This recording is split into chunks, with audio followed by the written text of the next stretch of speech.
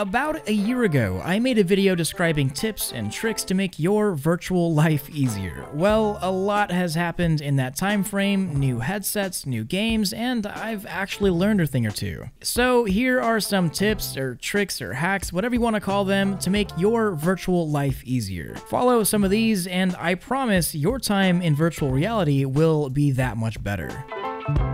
So let's start off with maintaining your headset. Most VR headsets are pretty robust and don't have too many failure points, but there is one piece of a headset that if ruined, will make being in VR nearly impossible. This is one of the biggest tips I have learned in VR ever, and it's honestly a game changer that will save your headset in case the absolute worst case scenario happens. All headsets have lenses, of course, whether you have a Vive or Quest 2 or Index, it don't matter. Well, all of these headsets lenses are made of plastic, and if you're like me, you've likely come close to or have even scratched the lenses. And once scratched, the headset is just about as useful as a paperweight. You won't be able to see into VR, and it can even make you sick. And I'll show you today how to fix scratches, but the best way to go about this is to prevent scratches in the first place. And one way is to always have a microfiber cloth with you while you're playing, keeping those lenses nice and clean. It's just good practice to always have a cloth with you at all times times. Just make sure it's clean because a dirty, crusty cloth is a great way to actually scratch your lenses. I also don't recommend ever using a t-shirt. Your headset likely came with a microfiber cloth, just use it. One more thing on preemptively not letting your headset's lenses getting scratched is to get in the habit of using a lens cover when not using your headset. This will protect the lenses from not only dust and scratches, but also the bane of all VR headsets' existence, the sun.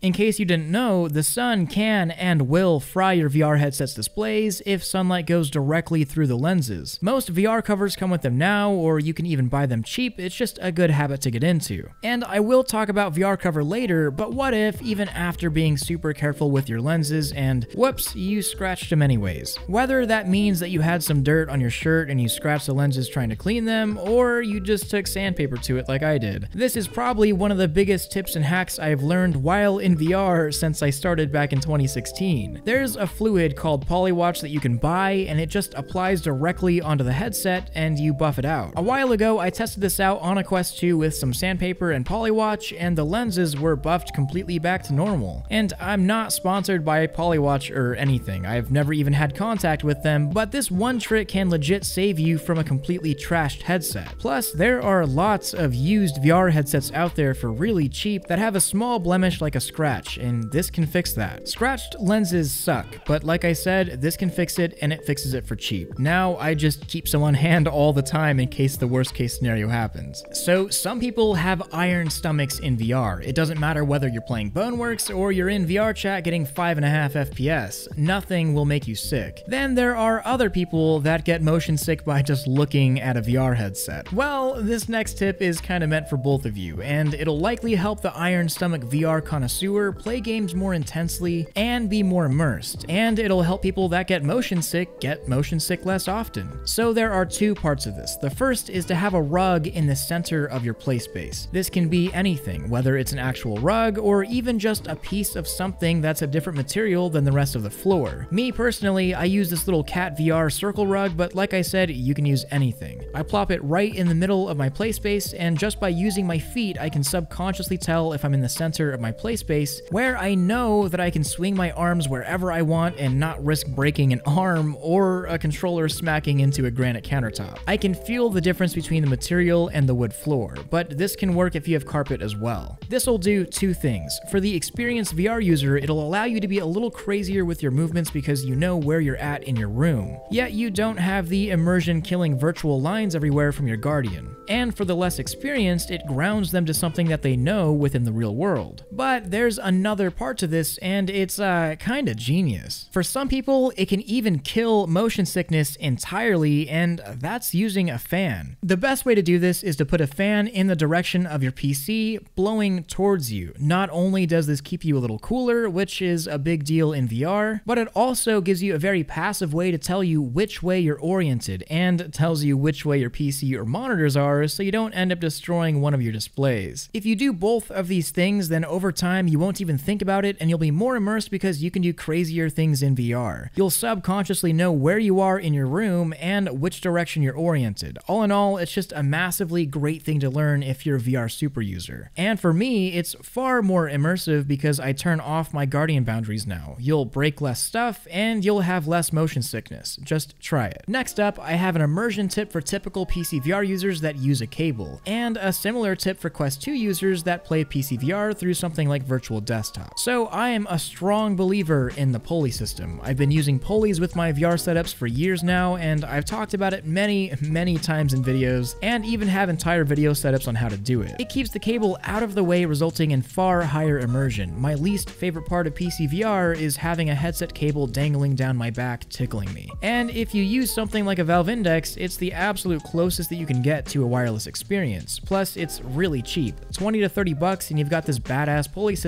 that, while not as good as wireless, it does work well. Plus, once you get used to the pulley system, you can gauge how tight the tension of the pulley is on your head and basically tell how far away from the center of your play space you are. Like I said, leading me to turn off my Guardian system entirely. The pulleys can either screw in or you could use stick-on pads like I use and they're easy to set up and easy to take down. Plus, uh, take it from experience. Bring over a couple friends to your house and uh, it's definitely a conversation starter. But for Oculus Quest 2 owners, if you have a good enough router, you seriously do not need a link cable or USB-C cable or pulleys at all. In fact, for the same price as an official Oculus link cable that you use for PC VR, you can get this router that I use. It's nothing special, but for 80 bucks, you get a Wi-Fi 6 capable router that has pretty awesome low latency wireless capability with virtual desktop. So you can play Half-Life Alyx or Boneworks or whatever you want completely wirelessly with no need for a pulley system. In case you're wondering what the difference between 5 GHz Wi-Fi and Wi-Fi 6 is, basically it's lower latency and has a higher bandwidth than 5 GHz Wi-Fi, and the Quest 2 is capable of Wi-Fi 6. And in case you're wondering again, yes, the difference between 5 GHz Wi-Fi and Wi-Fi 6 is noticeable, and if you decide to upgrade, this is the one I've been using. It's nothing special, but it does the job and it's pretty cheap. I highly recommend it. So now I want to talk about a quick FOV increaser for almost any headset. I warn you though, this is a tip more for hardcore VR users. This is a slight trade-off for comfort, but a better viewing experience. And it's something that I've been doing for a long time. We all know about VR covers, or similar facial interfaces. They're replacements for the stock ones that usually get pretty nasty, are harder to clean, and in my opinion, are a little scratchy on my face. These replacement pads, on the other hand, are easier to clean and are more comfortable. What actually sold me on VR cover all the way back in 2017, though, was a super slim pad that was released. This brings your eyes closer to the lenses, therefore you can actually see a pretty noticeable bump in field of view, cutting down on just a little bit of the binocular effect that you get while in VR. Well, VR cover doesn't release slim covers for every headset, unfortunately. I have one on my Index, which I love, and I have one on my CV1, which was great back then, but if you have a Quest or Quest 2, then you're just kind of out of luck. Nothing is quite made this thin. But if you piece things together, you can actually get a pretty big bump in FOV by putting the slim pad made for the CV1 on the Quest 2. Now, uh, this is not officially supported by VR cover at all, and don't expect it to be as comfortable as the big pillowy pleather cover that comes with the Quest 2 VR cover. But if field of view is what you're after, this is a good mod, and it's actually how I personally use my Quest 2. I don't mind the comfort change, and games do look better. So if that's what you care about, then give it a shot. You can see just by the thickness of the pads how much closer it'll bring your eyes to the lenses. Now,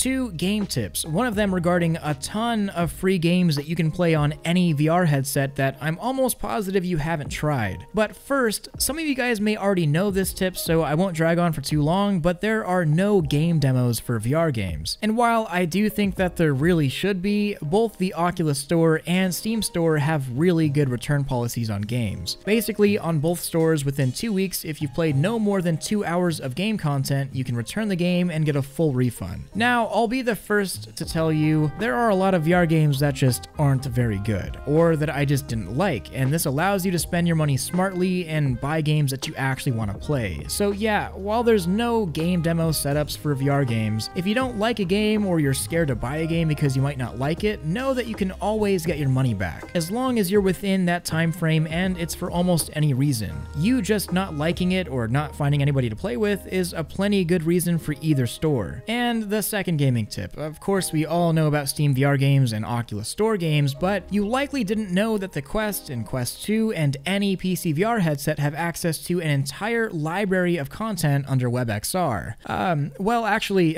you might know, um, if you know. But it goes beyond just that sort of content. There are entire games and experiences and more just available to you within a browser through an awesome WebXR plugin. It's already on your Quest and Quest 2, and it's just a couple clicks away on a PC, and almost all of this content is free, and some of it is really, really good. You're seriously missing out on some great VR games and experiences that are right at your fingertips, yet not that many people talk about it. So go explore the free games if you're bored. But I have a bonus gaming tip. Are VR games feeling just a little too easy, or maybe even boring, or too much like a video game? Does it feel like, especially in single player games, you're just romping through everybody and there's no challenge? Well, I have a challenge for you, and I've been doing it quite a bit lately. It completely changes the VR experience. Hop into your favorite VR game, for me that's Boneworks, and now the challenge part. Do not touch your right thumbstick. No smooth turn, no snap turn, no nothing. The only way you can turn turn is through your actual body movements. I'm not gonna lie here, every game gets harder and it seems kinda dumb and intuitive, but it's way more fun, as long as you're able to do it of course. Some games don't work all that well with only body movement, and uh, in my opinion, that's uh, on the developers. Of course, you still have to use your left thumbstick for moving, but in terms of rotation, I urge you to try playing games only using your actual body. Games will be more immersive, shooting is way more entertaining, and you feel like you're in the game more. Just like I said, don't touch that right thumbstick stick. I hope you enjoyed these tips or hacks, tricks, whatever you want to call them that I've learned along the way. They've helped me and they've helped everyone around me enjoy VR just a little bit more than we already do. And if you follow these, I'm sure that you'll get more enjoyment out of your VR experience. If you have any extra tips or things that you've learned along the way, throw them in the comments because, uh, you know, we're all a big family out here. You should definitely come by and check out my Twitch stream. I do VR streams all the time, and if you want an awesome VR community to hang out with and make new friends, then come on and join my Discord server. I want to thank all of my Patreon supporters, especially my Omegas like Zale, Furtrap, Lucas Rizzotto, CPCJ79, Chaotic, Dented Melon, KR, That Brock Brockeye, HCG Randon, Benji, Ronzarelli, Biz, Fusion Oak, Very Evil Shadow, and Debonair Fab. I couldn't do any of this without you.